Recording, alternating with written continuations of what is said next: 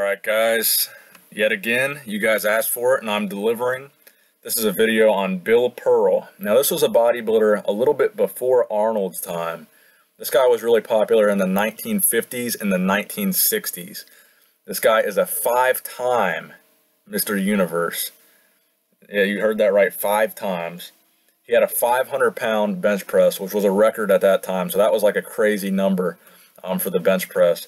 As you can see, man, this guy had some crazy arms, some big balloon triceps, um, crazy pecs. This guy had an amazing physique.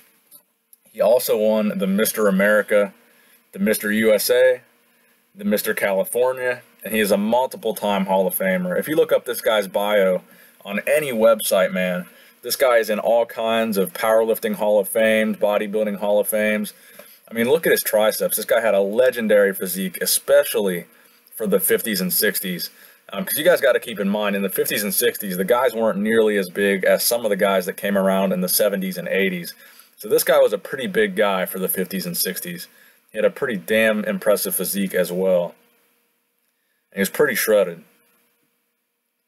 Except for that photo. He still looks pretty damn good in that photo.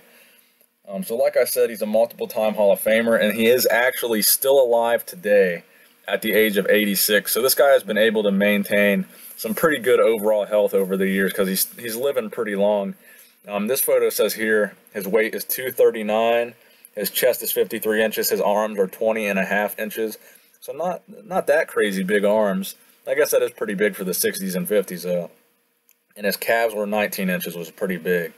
Um, so 239 right here, that's a pretty big body weight for a 50s and 60s bodybuilder again with the crazy triceps. That that little side view of him, man, is probably his best pose. He looks really damn good from the side. So I hope you guys enjoyed the video. A nice little quick one for you guys, giving you guys a reminder of a great classic physique that some people may have forgot about or might not know about. So give the video a thumbs up if you thought Bill Pearl had a crazy physique, um, or if you did not know about Bill, Bill Pearl before this video. So thanks for watching, guys. Nick Strength and Power, signing out.